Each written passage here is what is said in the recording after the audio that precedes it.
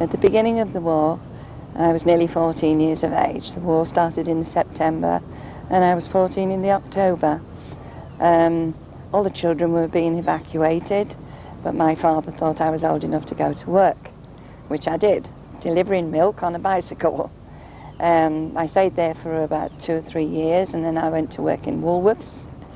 Um, I stayed there till I was called up at the age of 18 and I either had to go into the forces or into a munitions factory.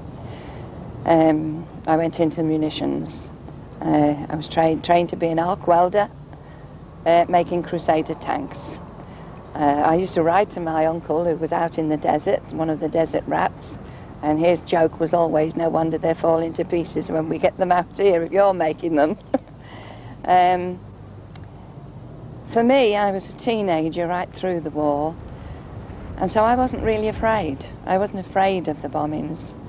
Um, I was caught many, many times when the air raid had started, but my father was a very strict man and said that wherever we were, we had to be at home. So uh, I ran home one night during an air raid, and I was uh, I had shrapnel in both legs.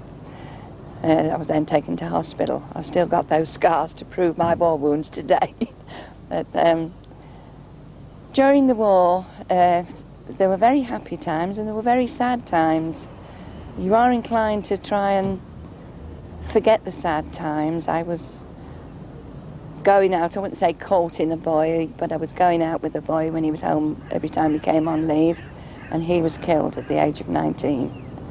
And his mother had five sons, and she lost four of them in the war. That was a very, very bad time then.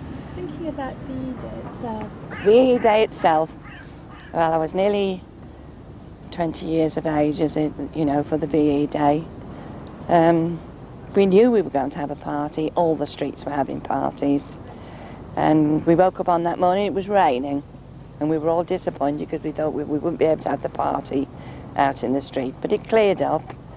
And um, the neighbours all brought the tables out, uh, sheets for tablecloths, and all the food that they'd collected as much as they could. Spam, jellies, all that we had, you know, rock cakes, all those kind of things a lemonade made with lemonade powder. and um, the daytime was, the morning was very exciting because people were stringing these flags across the streets from one bedroom to another. Where they got them from, I never know. But we remember one funny incident because somebody suddenly noticed amongst the lot of them there was a German flag. So they hurriedly had to take that down. and um, that was that was funny. So can you just say that one again? Just, just suddenly the German flag thing because there's a car going through at the time. Oh right. Tell me about, tell me about the flags. Um, where they came from, I don't know. Um, where I lived in Liverpool, as you know, was a port, so I think that they mostly came from the ships. Um, and they strung the flags from one side of the road to the other from people's bedroom windows. Hundreds of them there were. And um, somebody suddenly noticed that in amongst a lot of them was a German flag. So we had to take that down, horridly. and the daytime was for the children. All games were being played.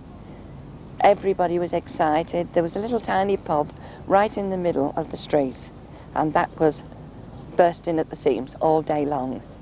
Um, the night time was for the grown-ups. So I was pretty lucky. I was able to go to the children's ones, being young, and then the adults one in the evening. In the evening, they lit a bonfire on the corner of the junction, and uh, it went on, oh, I think till three o'clock in the morning. Everybody was, oh, I, I can remember one person, they got brought the piano out into the road because that's all they had as music. And in the middle of the street, there was a, a like a concrete air raid shelter built well, how they got the piano up on the flat roof of the, of the air raid shelter, I don't know, but there it was. And that's where it stayed all night.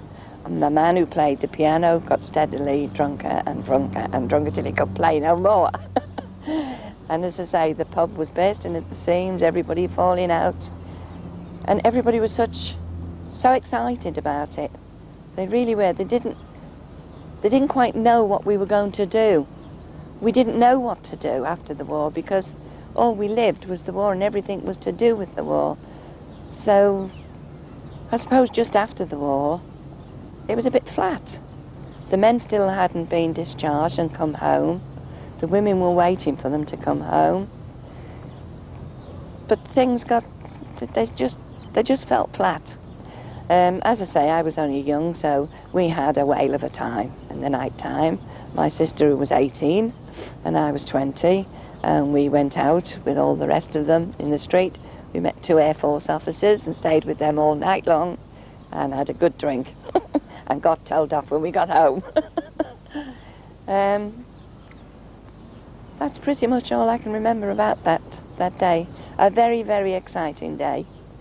Um, as you went into other streets and other roads, there was cars going by, but remembering there wasn't as many cars as there is today, but they were all waving Union Jacks, all of them, the car hooters going. And I can also remember the ships on the River Mersey. My father was a dock pilot on the River Mersey, and um, I can remember all the ship's horns going all day long. The, you, you could hear them all day from the docks. Um, it was just so exciting. Your emotions, were they all elated on that day? Yes, very much so. A very exciting day. Um,